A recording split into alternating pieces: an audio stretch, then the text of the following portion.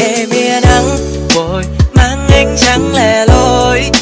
Kẻ trôi theo cùng trời ngã xa vào nơi đầu môi.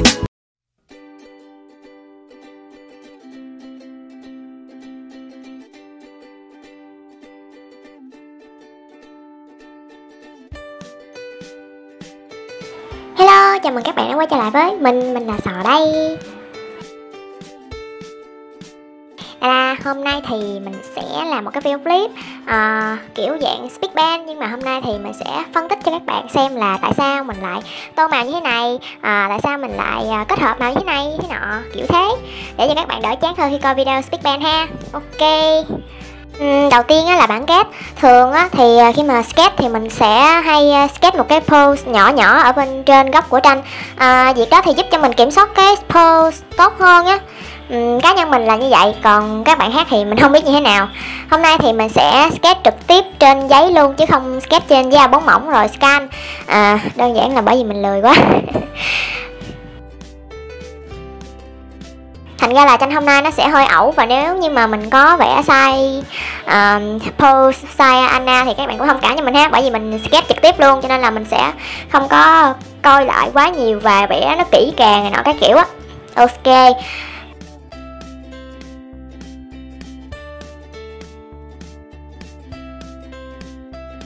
uhm, bản kết của mình thì hôm nay mình sẽ vẽ luyến trụ.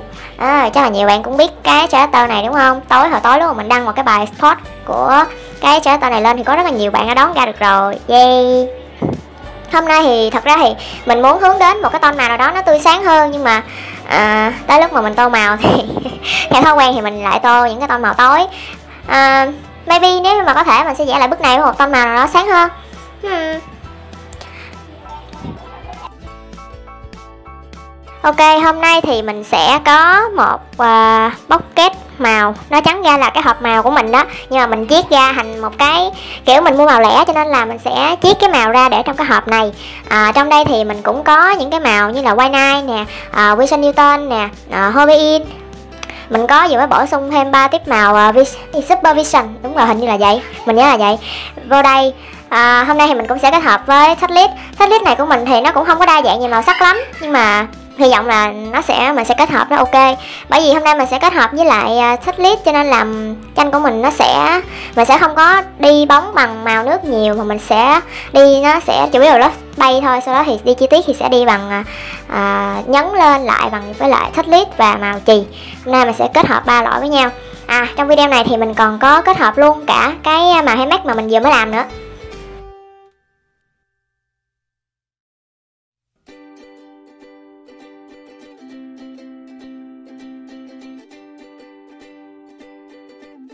Ok bây giờ thì chúng ta sẽ cùng đi bay lớp nền ha. Lớp nền thì cũng đơn giản thôi Không có gì là uh, quá nhiều màu nọ. Có nhiều bạn hỏi mình ờ, uh, bồi giấy là như thế nào? Uh, Chị mình là một người dân kiến trúc thì chị mình nói mình là bồi giấy kiểu uh, mình sẽ để nước lên toàn bộ mặt uh, giấy á. sau đó thì khi mà khô lại thì nó sẽ không bị nhăn cái tranh.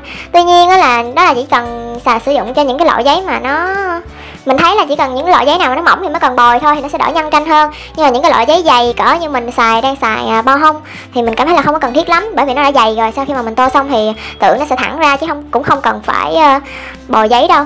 Mà cá nhân mình thì lúc nào cái lớp spray của mình á nó cũng có chức năng gần như là lớp bồi vậy tại vì mình quét nước hết luôn trên toàn bộ tranh. Đấy. Thành ra là lúc mà bay xong thì thường là mình phải chờ đợi khá là lâu để mà cái lớp ờ, nước đó nó thấm và nó bay hơi hết để cho tranh nó khô cái kiểu á.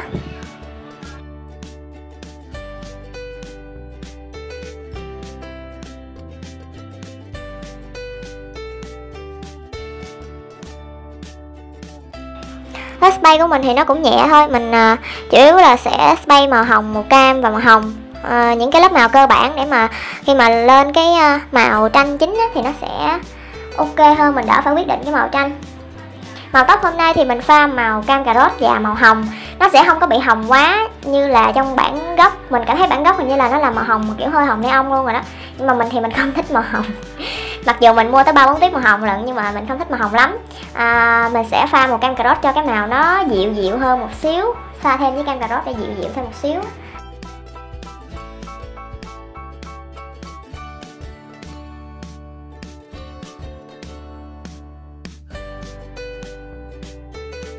Ok à, phần đuôi tóc sẽ là màu xanh bởi vì những cái màu xanh tiếp mà mình à, mua của những cái hãng màu như là Hobby In hay là Wilson Newton thì à, nó không có cái màu đẹp như mình muốn cho nên là hôm nay mình sẽ lấy màu xanh của Van Gogh ha.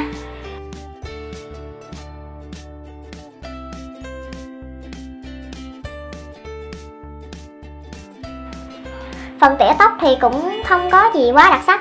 À, chỉ là tỉa theo cái nếp tóc đã mình đã vẽ sẵn thôi chứ cũng không có gì đặc biệt hết. Không có cái kỹ năng nào hết.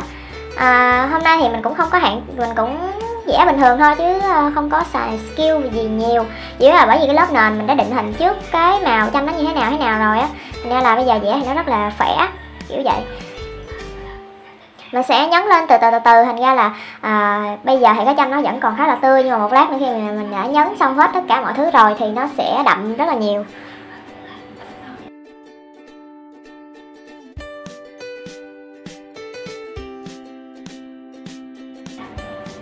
Mình thì đó giờ cái phong cách của mình thì à, hiếm khi nào mình vẽ một cái tranh nào đó cái màu mà nó sáng mà nó kiểu nhạt nhạt á. À, thành ra là khi mà các bạn thấy mình các bạn thấy mấy tranh mình chụp á đa số là nó màu rất là đậm đúng không? Những bạn khác khi mà tô tranh á thì họ sẽ phải chỉnh cái màu lên rất là đậm. Nhưng mà tranh của mình thì hầu như là không cần phải chỉnh nữa bởi vì màu nó đã đậm sẵn rồi. Thành ra là mình cũng ít khi nào chỉnh. Đấy là mình chỉ chụp qua một cái app thường một cái app là gọi là Foodie á các bạn có thể lên tải cái app đó. Thì cái tone màu nó sẽ sáng lên cho bạn chứ cái màu thì của mình thì rất là đậm rồi nên mình cũng không cần phải chỉnh nhiều nữa.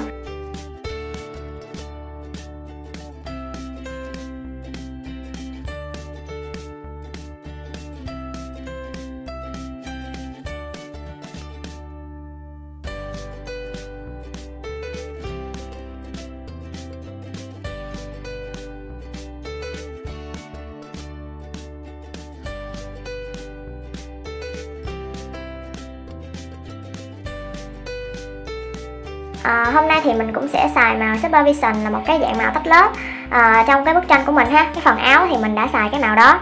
Nhưng mà cá nhân của mình khi mà mình xài cái màu này thì mình lại cảm thấy là nó tách lớp nhưng mà không có mạnh bằng thằng Powder Pen lớp nó tách cũng khá là mỏng thôi chứ không có được ấy. Còn nếu như mà bạn nào mà mua những cái màu tách lớp mà nó cực kỳ tách lớp luôn á kiểu như là cái màu xanh tách với màu đỏ hai cái màu cực kỳ chổi nhau mà tách lớp á thì nó sẽ mạnh hơn kiểu thế nếu mà đặt hợp cái ờ, màu đó thì mình cũng đã nói rồi, mình cảm thấy không có hài lòng lắm với lại hai cái màu tách lớp này cho lắm. Bởi vì tách lớp nó không có được mạnh.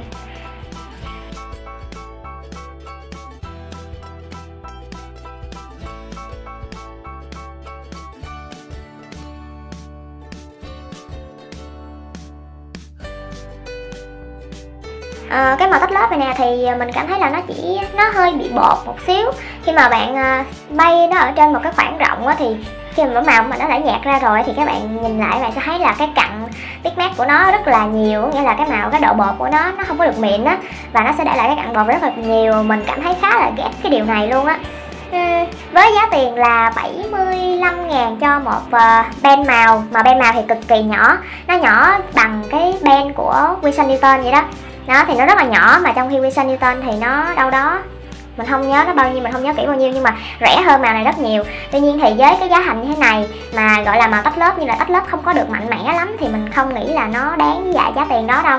Nếu mà bạn nào muốn đầu tư thì mình nghĩ là các bạn có thể xài những cái màu ờ, Ừ, kiểu tách lớp mạnh hơn ấy. ví dụ như là đợt trước mình có order thì có một cái màu đỏ tách với lại màu xanh. Và màu xanh tách với màu đỏ. Đó, thì các bạn có thể lựa những cái màu đó thì mình nghĩ là nó tách lớp nó mạnh mẽ hơn và xài nó sẽ ok và xứng đáng giá tiền của bạn hơn.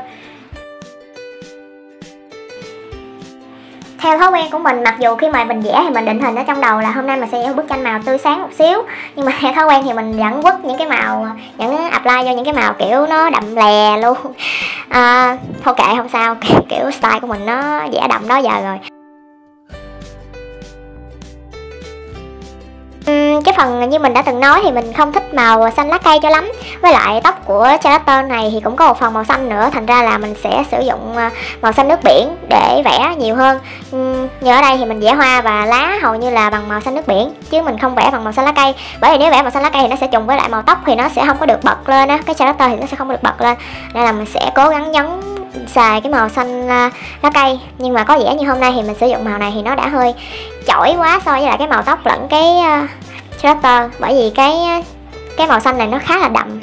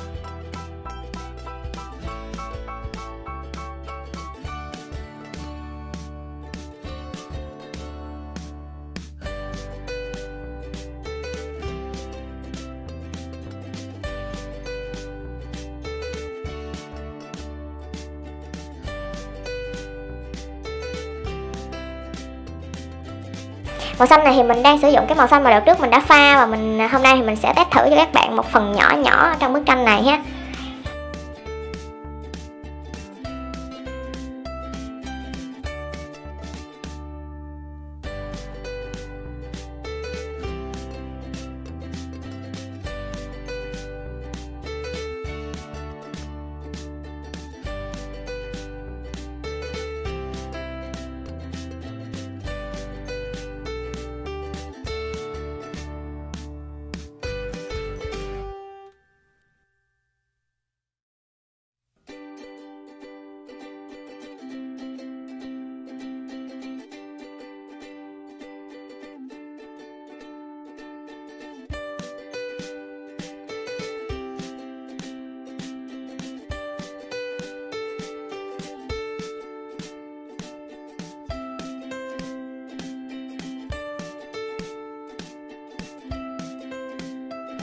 À sẵn đây thì mình cũng sẽ review luôn cái keo dán màu vàng vàng này ha.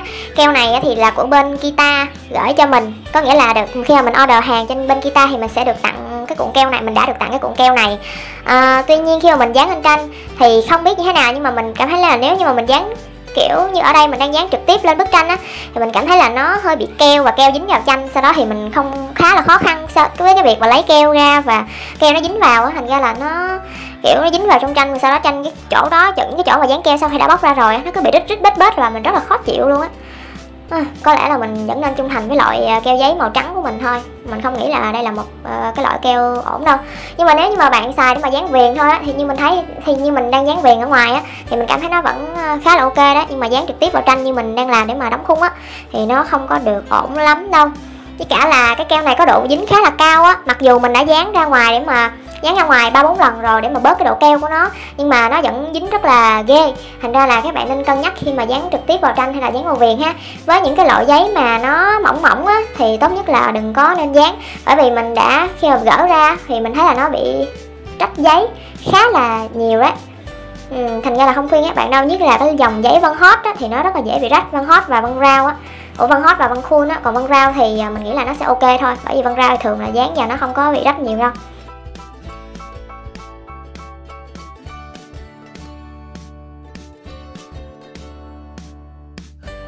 Hay, một bức tranh đơn giản như thế này thôi mà mình vẽ tầm khoảng ờ, 4 tiếng đồng hồ đó các bạn.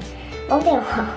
Ngồi liên tục 4 tiếng đồng hồ vừa vẽ vừa quay canh máy rồi ờ, mấy cái góc quay nọ các kiểu. À, mặc dù thì nó cũng đơn giản thôi setup thì nó cũng đơn giản thôi nhưng mà nó thật sự là nó cũng khá là đau lưng đó.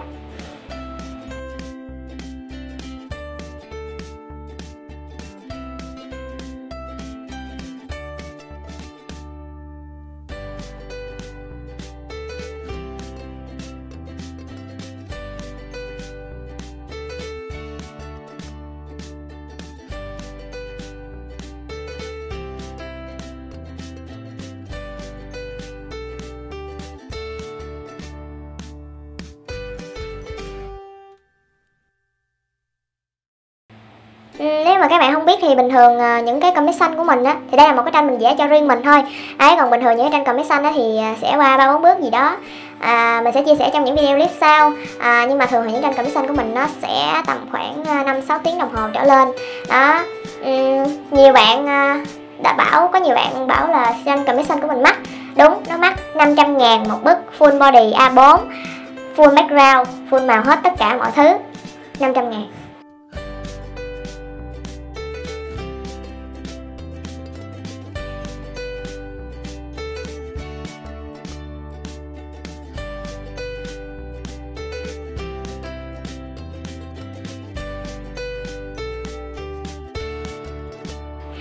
À, mình không biết là các bạn thấy đắt hay rẻ nhưng mà mình cảm thấy nó xứng đáng với lại cái công sức mà mình bỏ ra. Có nghĩa là khi mà mình vẽ một bức tranh như vậy á thường á thì à, mình sẽ mất khoảng tầm 12 tiếng cho một bức tranh 500 ngàn. 12 tiếng không có, có không có nghĩa là mình vẽ à, đó chỉ là cái công đoạn tô màu thôi ha. Công đoạn tô màu thì mất khoảng tầm 12 tiếng. Còn cái phần mà vẽ sketch rồi sửa bản vẽ lại thì đôi khi là hai ba ngày cũng có. Uhm, mình tính tổng thời gian là coi như là khoảng ba bốn ngày để ra bức tranh đó đi không tính cái thời gian mà mình bỏ qua tranh thì nó chỉ tính tổng thời gian khi mình bắt đầu mình ngồi xuống mình vẽ thôi ha. Đó thì nó cỡ đó. Và thứ nhất tranh của mình không chỉ đơn giản là vẽ màu nước. Mình kết hợp cả sách clip kết hợp cả màu chì. À, đôi khi là mình sẽ sử dụng uh, gọi là sao ta? Mình sử dụng nhũ nè mình sử dụng ờ, những cái gì đó à, lấp lánh nè. Nếu như mà tranh của bạn cần độ lấp lánh mình mình sẵn sàng mình có nhũ có kim tuyến có à, sao kết cườm nữa các bạn cho các bạn luôn. Rất là thoải mái. À, đôi khi là cái lớp nền của mình đó là mình bay bằng lớp nền nhũ. Thành ra khi các bạn cầm tranh lên, các bạn sẽ cảm thấy bạn cầm mà các bạn đưa qua đưa lại bạn sẽ thấy lấp lấp lánh đó đó là cái đó là mình có đính nhũ lên mình có mình có bay bằng nhũ. Đó đó là lý do vì sao mà cái giá cầm xanh của mình đắt. Mình chịu chơi hết tất cả với các bạn. Nếu như mà cái, trong cái bảng màu của mình hôm đó, ngày hôm đó không có cái màu, mình cảm thấy là mình sẽ phối với lại cái tranh của bạn đẹp. Mình sẵn sàng đi mua một tiếp màu để mà phối cho cái tranh bạn nó đẹp. Đó đó là lý do vì sao mà giá tiền của các bạn đắt nhưng mà mình ok các bạn đắt các bạn bỏ tiền ra nhưng mà mình sẵn sàng làm hết tất cả mọi thứ để cho các bạn cảm thấy tranh đó là xứng đáng. À, đợt trước có một bạn à, mua cẩm xanh của mình nhưng mà bạn đó có vẻ như không hài lòng với cái, cái tranh cẩm xanh đó. À, cá nhân mình mình cũng cảm thấy không hài lòng. Thành ra là mình đã vẽ, vẽ đi vẽ lại cái bức tranh cẩm xanh nó ba lần bạn đó nói là sau khi mà mình gửi bản sketch cho bạn đó thì bạn đó nói là không hài lòng chỗ này không hài lòng chỗ nọ. Ok mình sửa cho bạn đó. Và bạn đó sợ là mình ờ, kiểu ngại sửa sợ mình ngại sửa và sợ mình phiền lòng á thì bạn nó không có dám nói. Mình nghĩ là chắc là bạn nó cũng không có dám nói hết là mình vẽ không có được đẹp chỗ này chỗ nọ đâu. À, nhưng mà thiệt sự mình không có ngại sửa. Bởi vì các bạn bỏ tiền ra thì các bạn phải được cái gì đó gọi là cái hài lòng cho các bạn, chứ không phải là các bạn bỏ tiền ra chơi chơi. Mình biết là các đồng tiền đó là khó khăn, cực khổ. Có thể là các bạn đi cũng đi là người đi vẽ commission cho người khác thì mới có tiền đó. Hoặc là tiền đó là tiền các bạn không ăn, không uống, mình chi tiêu tiết kiệm để mà có thể có được cái số tiền đó mà đi mua commission. Đó, thì mình biết là số tiền đó rất là lớn với các bạn. Thành ra là lúc nào mình cũng cố gắng vẽ đẹp nhất cho các bạn.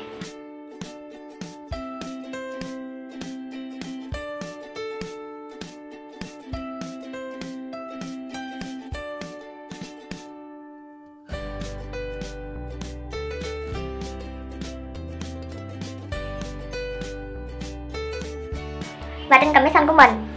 Trước đây mình không có bao bì nào các kiểu bởi vì mình chỉ ra ngoài à, bưu điện mình à, kiểu đi gửi không thôi chỉ là bọc cái bì thư của bưu điện thôi á. À, nhưng mà sau này khi mà có một vài cái tranh mà mình bị bùng commission á nó hoàn về đến tay mình thì mình thấy nó nó bèo nhèo quá rồi. Xong rồi mình mới nghĩ là lỡ như mà cái tranh của mình đến tay các bạn mà nó cũng bèo nhèo vậy thì sao? Lỡ mình nó có dính nước hay nó bị rách bọc này nọ các kiểu thì sao bây giờ? Thành ra là mình mới thêm một cái bọc kiến cho các bạn trước đây mình không hề tặng quà tặng kèm gì cho bất kỳ một bạn nào. À, nếu có thì cũng chỉ là tặng bút mát mà kiểu sơ sài này cái kiểu thôi. Đó nhưng mà bây giờ thì mình có mình khi mà mình kiếm được nhiều tiền hơn một xíu á, thì mình luôn luôn đầu tháng hay là gì đó mình đi mua mấy cái quà tặng kèm cho các bạn vẽ trên các bạn đặt cầm xanh của mình á. Thành ra là um, mình không nghĩ là cái giá cầm xanh của mình đắt bởi vì nó xứng đáng với những gì bạn được nhận vậy thôi. Còn sau này các bạn khi các bạn mở cầm xanh cũng vậy nữa làm sao để mà xứng đáng với những cái gì mà các bạn bỏ ra thôi. Chứ nếu như mà người khác chê á, những người họ chê giá cầm xanh của bạn á, thì có thể là họ cũng chả bao giờ mua cái cầm xanh của bạn đâu. Thành ra là các bạn cũng không cần phải à, kiểu, lo lắng quá. Miễn sao là các bạn cảm thấy là nó đúng với lại cái sức lao động của các bạn là được.